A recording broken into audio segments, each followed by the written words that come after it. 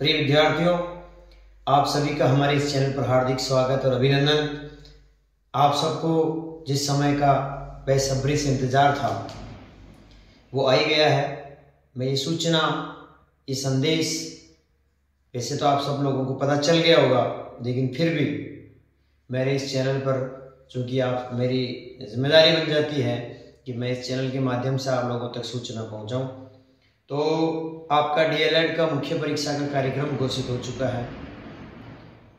DElEd first year के जो student हैं, विभागीय परीक्षाएँ पंजीय विभागीय परीक्षाएँ बीकानेर ने आज आप लोगों के लिए आपका मुख्य परीक्षा का कार्यक्रम घोषित कर दिया है। तो मैं एक बार आप लोगों को बताना चाह रहा हूँ कि आपके एग्ज़ाम जो डीएलएड फ़र्स्ट ईयर के स्टूडेंट हैं 22 जनवरी 2024 से आपका एग्ज़ाम स्टार्ट है।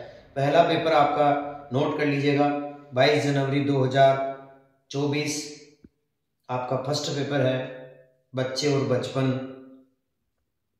और आपका समय रहने वाला है दो बजे से पाँच बजे तक। तीन घंटे का पेपर है, बच्चे और बचपन।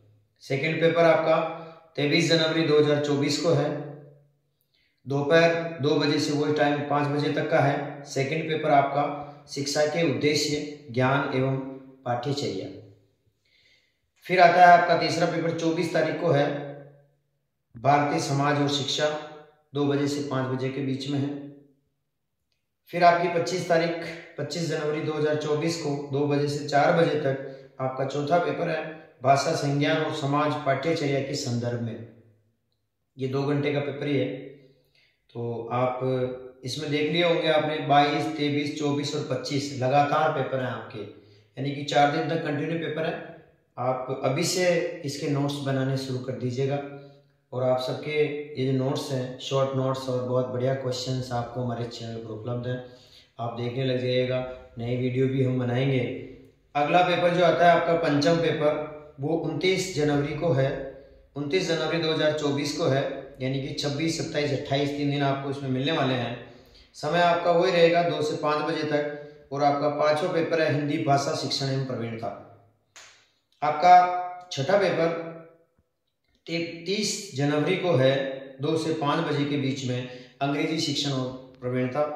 आपका सातवां पेपर इकतीस जनवरी को है, दो से पाँच बजे के बीच में गणित का है।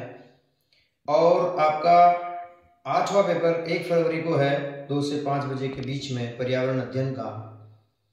फिर आपका दो दो फरवरी को फिर एग्ज़ाम है आपका नवा पेपर, कला शिक्षा का, वो दो घंटे का ही है, दो से चार बजे के बीच में।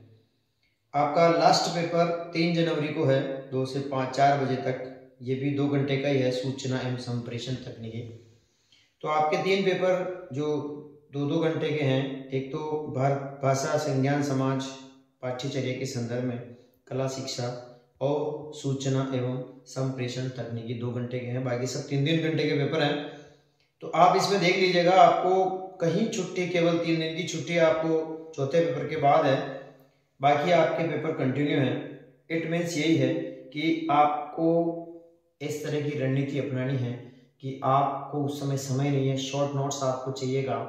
आपको इस तरह के नोट्स चाहिएगा कि चार घंटे में आप पूरे कोर्स को पढ़ सकें, संपूर्ण इकाई को।